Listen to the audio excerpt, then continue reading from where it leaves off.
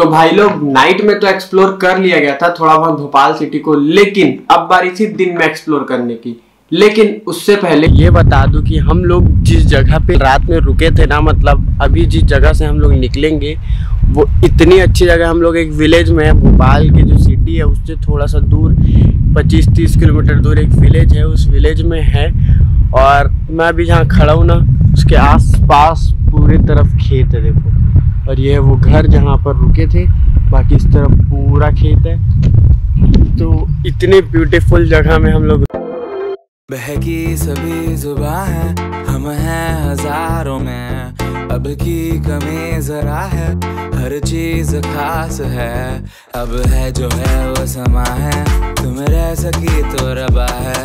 अब तो अभी हम लोग निकल चुके भोपाल सिटी को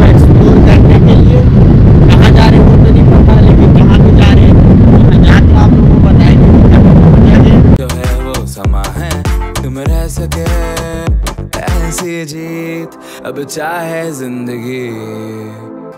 ऐसे तैसे प्लान बनाते बनाते हम पहुँचे एक जगह पे, लेकिन उससे पहले वापस हम उसी रोड से गए जिस रोड पे आता है हमारा बड़ा तालाब। तो हमने नाइट पे देखा था तो अपन अभी दिन में देख रहे हैं, वहाँ रुक के थोड़े फ़ोटो वोटो लिए गए फ़ोटो वगैरह सेल्फी वेल्फी खिंचाया गया।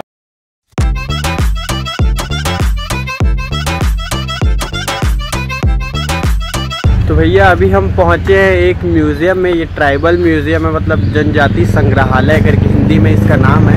अभी अपन इस म्यूज़ियम में पहुँचे हैं। सुना वो बहुत अच्छा म्यूज़ियम है, बहुत एंटिक तरीके से चीज़ों को दिखाया गया तो जाते हैं, देखते कैसे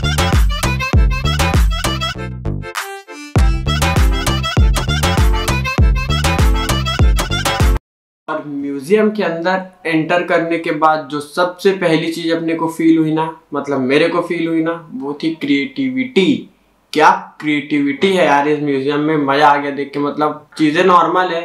आज भी जो गाँव में यूज़ करते वही सब चीज़ें हैं, लगभग लगभग जो मैंने देखी है। लेकिन जो क्रिएटिविटी से उसको रखा गया है ना, सारे पैसे उसके और पैसे नहीं, दस रुपए लगते हैं, बाकी फ़ोटो वोटो खिंचाने का पचास रुपए अलग।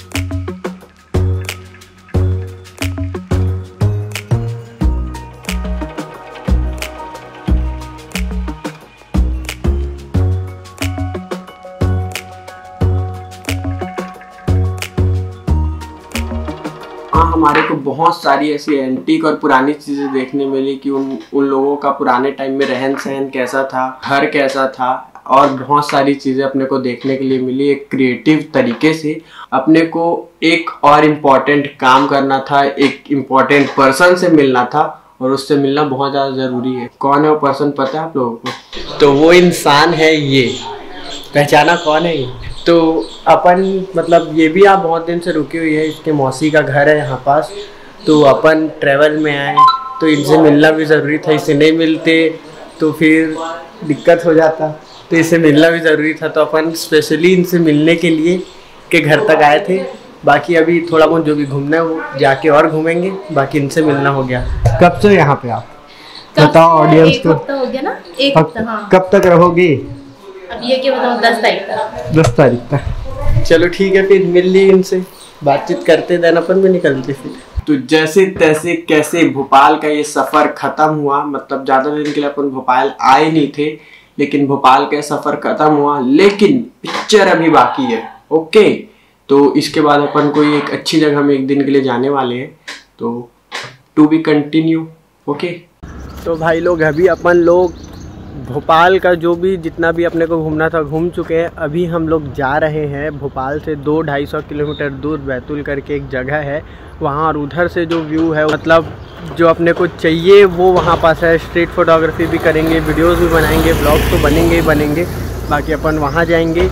भोपाल का सिस्टम अब ख़त्म हो चुका है और वहीं से अपन डायरेक्ट फिर घर निकलेंगे दो, एक दो दिन बाद। अभी उस बारे में बात नहीं करते। बाकी भोपाल का सिस्टम ख़त्म हो गया है। थोड़ी देर में अपन कार से निकलेंगे, जहाँ अपने को जाना है, वहाँ और जितना मैंने सुना है, बहुत ज़्यादा अच्छी जगह है वो भी। तो वहाँ पे अपन ब्लॉग बनाएँगे एंड देखते वहाँ की जगह कैसी है।